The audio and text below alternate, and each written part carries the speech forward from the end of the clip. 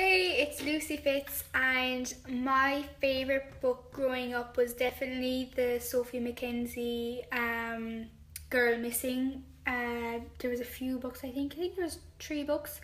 I loved them, and Sophie McKenzie was definitely one of my favourite authors. She was really, really good, and she was really um, easy to understand. And her books, like I was addicted to them. Like I'd have one of them read in like the space of two days, not even. So they are definitely my favourite books as a child and growing up and I'm only 17 now so I'm not like grown up yet but definitely when I was like 12 13